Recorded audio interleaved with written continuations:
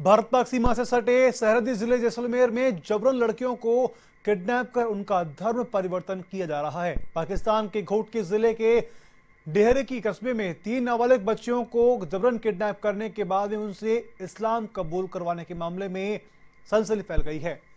वहीं पर ग्रामीणों में आक्रोश है। उन्होंने पीएम से मांग करते हुए कहा कि पाकिस्तान के खिलाफ कार्रवाई की मांग की।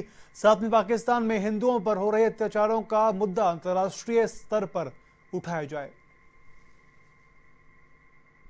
देश और दुनिया की हर छोटी बड़ी खबर के लिए सब्सक्राइब करें एवन टीवी न्यूज़ साथ ही बेल आइकन को प्रेस करें ताकि आप पा सकें ताज़ा खबरों की नोटिफिकेशन।